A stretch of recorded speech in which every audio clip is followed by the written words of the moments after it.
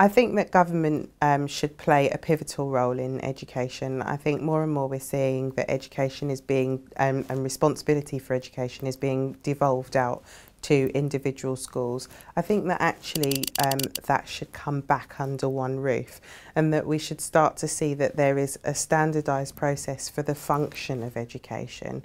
Meanwhile, within educational establishments, the um, curriculum and the teaching methods of the curriculum are then geared to individual children.